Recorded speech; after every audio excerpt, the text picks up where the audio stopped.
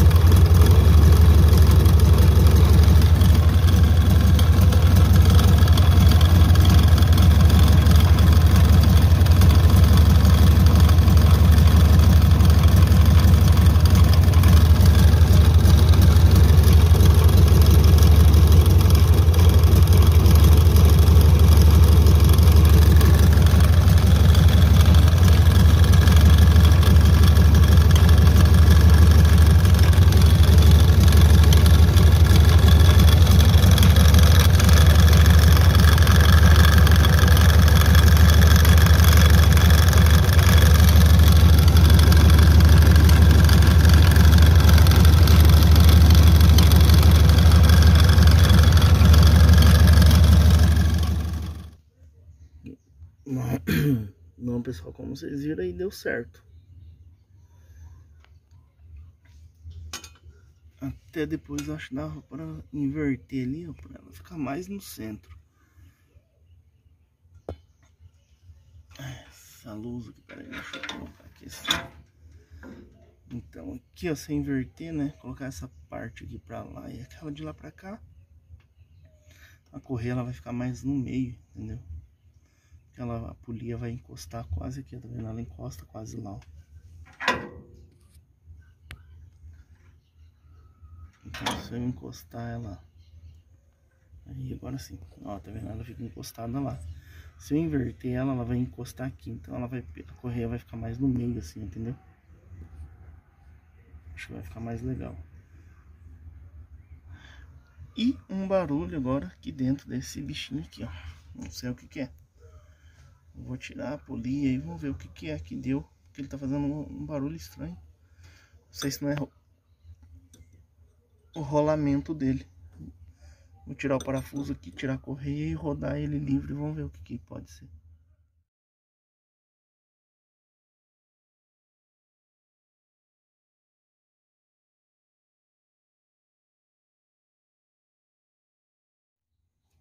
Enrolei, galera.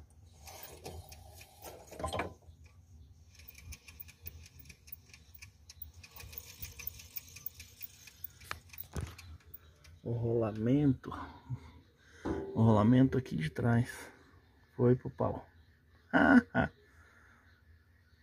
Agora tem que desmontar o bichinho para poder arrumar. Vou aproveitar, já vou lixar, já vou pintar. Vou tirar a capela aí atrás, ó, vou dar uma lixada. Pena que esse motor ele é quando foi soldado, tá vendo? Ele, ele é caído para baixo, ó. Ó. Olha esse lado aqui. Ó, tá vendo? Olha a fresta aí do Aqui, ó. Essa chapa do motor era pra ela estar tá aqui, ó. Onde tava embaixo. Ó, 2D de diferença. Do lado de cá tem menos, ó. Menos, quase menos, né? Mas olha, ó. ó. Tá vendo? É pra estar tá aqui na borracha, tá lá embaixo. Ah, esse daí eu não consigo agora não. Mas vou estar tá lixando, pintando dando uma organizada nesses fios, nessas bobinas aqui. Vamos ver o que dá pra fazer. Aguarde os próximos episódios. Achei que já estava pronto, era só montar no carro e andar. Agora que terminei de fazer aqui, estraga esse daqui. Ai, só Deus mesmo. Mas tá bom. Pelo menos ali ficou filé. Olha, sujou de graxa. Mas tá aí.